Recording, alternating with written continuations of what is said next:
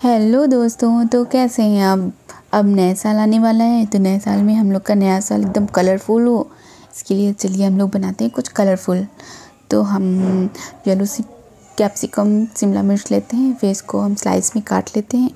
इसकी थोड़ी सी मोटी स्लाइस काटते हैं, फिर रेड कैप्सिकम लेते हैं, उसकी भी हम थोड़ी सी मोटी स्लाइस काटते हैं, और फिर हम ग्रीन कैप्सिकम लेंगे, उसकी भी हम थोड़ी सी मोटी स्लाइस काटेंगे।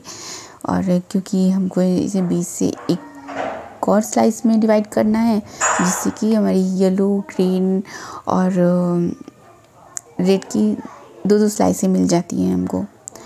ये देखिए, अब हम इसको बीस से और एक और कट लगाते हैं और हम इसकी दो, एक में दो स्लाइस बना लेते हैं। अब हम रेड वाली की भी ऐसे ही करते हैं और दो स्लाइस में डिवाइड कर देते हैं और येलो वाली की भी दो स्लाइस में डिवाइड कर देते हैं। अब हम इसी स्लाइस में चार पनीर के टुकड़े लेते हैं, लंबाई में कटे हुए। अब एक पैन लेते हैं, उसमें हम बटर डालते हैं और जब बटर मेल्ट हो जाता है थोड़ा सा तब हम इसमें अपनी पनीर डाल देते हैं। अब हम पनीर को थोड़ा थोड़ा करके फ्राई करते हैं। देखिए, हम इसमें थोड़ा थोड़ा हल्के हाथों से थोड़ा सा फ्राई करेंगे, जिससे कि ये टूटे ना हो।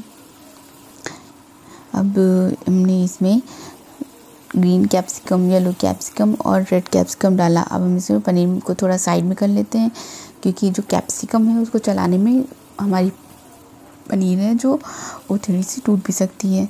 अब इसमें ब्लैक पेपर और सॉल्ट ये सब डालेंगे और पनीर को धीरे धीरे पलट देंगे। ये देखिए, हमारी जो पनीर है वो थोड़ी सी गोल्डन ब्राउन होने लगी है। अब हम सारी पनीर को पलट दे रहे हैं। ये देखिए, कितनी सुनहरी और कितना कलरफुल लग रहा है। और जो हमें अपनी गैस की आँच है, उसको मीडियम नहीं रखनी है, उसको तेज़ ही रखनी है।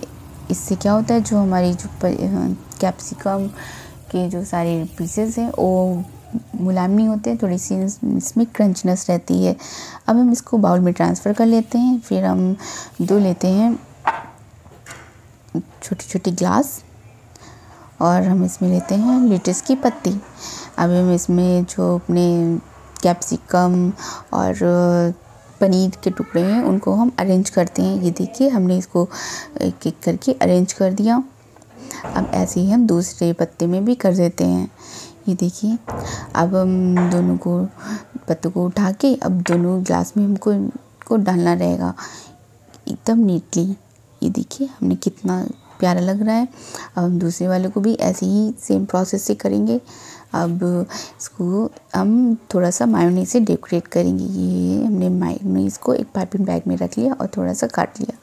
फिर ये देखिए हमारी colourful recipe ready thank you for watching